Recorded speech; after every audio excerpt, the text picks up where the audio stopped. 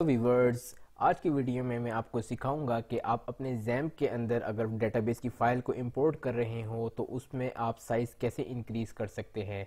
जैसे यहाँ पे मेरे केस पे आप देख सकते हैं, मैंने एक डेटाबेस की फ़ाइल इंक्रीज़ करनी है जो कि 70 एम की है। लेकिन यहाँ पे जो मैं हाईलाइट कर रहा हूँ, मेरे पास सिर्फ़ बाई डिफ़ॉल्ट में टू एम आ रहा है। अब इसको मैं इंक्रीज़ करना चाहता हूँ ताकि मैं अपनी डेटाबेस की फ़ाइल को इम्पोर्ट कर सकूँ। तो हम इसको कैसे करेंगे? तो चले यहाँ इसको देखते हैं।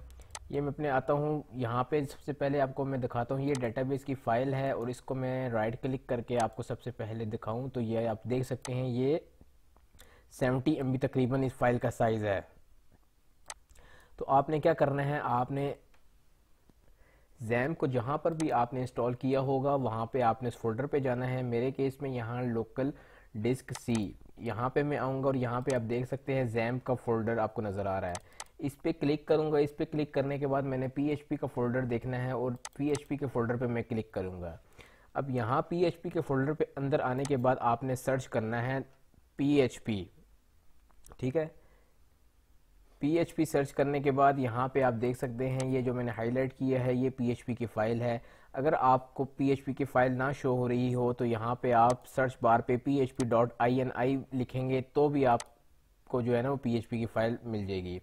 इसको आपने राइट क्लिक करना है और आपके पास जो भी एडिटर है सिप सबलाइम है विजुअल स्टूडियो है, आप उसको उसमें ओपन कर लें। ओपन करने के बाद यहाँ पे आपने कंट्रोल एफ़ प्रेस करना है और सर्च करना है। अपलोड डैश मैक्स ठीक है, ये देख सकते हैं, ये अपलोड डैश मैक्स लिखा है तो ये upload dash max file size पे मुझे रिडायरेक्ट करके ले गया है। यहाँ पे आप देख सकते हैं बाय डिफ़ॉल्ट क्या आ रहा है? टू एम अब इसको मुझे 70 एमबी करना है, क्योंकि मेरी फ़ाइल का साइज़ 70 एमबी है। आप ज़्यादा भी कर सकते हैं और कम भी कर सकते हैं। उसके बाद कंट्रोल एस दबा के आप इसको सेव कर लें।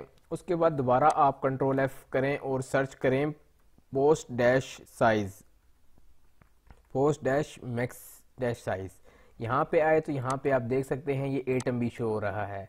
इसको भी आप 70 एम कर दें। बस आपने इस फ़ाइल के अंदर सिर्फ़ ये दो चेंजेस करनी है और ये चेंजेस करने के बाद आप जो है इस फ़ाइल को क्लोज़ कर दें। क्लोज़ करने के बाद एक दफ़ा आप अपने जैम सर्वर को जो है वो रिस्टार्ट करें। ये देखें मेरा इस टाइम पर ऑलरेडी स्टार्ट में था। इसको मैं स्टॉप करता हूँ। और अगर मैं फ्रंट एंड पे जाऊँ और इस पेज को रिफ़्रेश करूँ तो ये आप देखिएगा यहाँ पे भी एरर आ जाएगा। अब मैं दोबारा इसको रीस्टार्ट कर रहा हूँ। और अब इसको मैं दोबारा रिफ़्रेश करूँगा तो यहाँ पे भी आप देखिएगा कि फ़ाइल साइज़ 70 एम हो चुका है। अब यहाँ पे मैं अगर फ़ाइल अपनी अब अपलोड करूँगा तो यहाँ पे जो है वो फ़ाइल इजीली अपलोड हो जाएगी।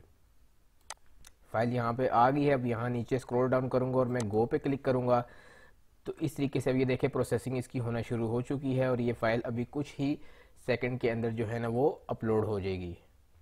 ये देखिए ये फ़ाइल जो है ना मेरे पास सक्सेसफुली अपडेट हो चुकी है और अपलोड भी हो चुकी है तो इस तरीके से व्यूवर्स आप अपनी फ़ाइल का साइज़ इंक्रीज़ कर सकते हैं। चाहे आप जैम्प यूज़ कर रहे हैं या वैम्प यूज़ कर रहे हैं या इवन आप अपने होस्टिंग के अंदर जो है ना साइज़ इंक्रीज़ करना चाहते हैं तो यही दो प्रोसेस थे जो मैंने आपको बताए हैं।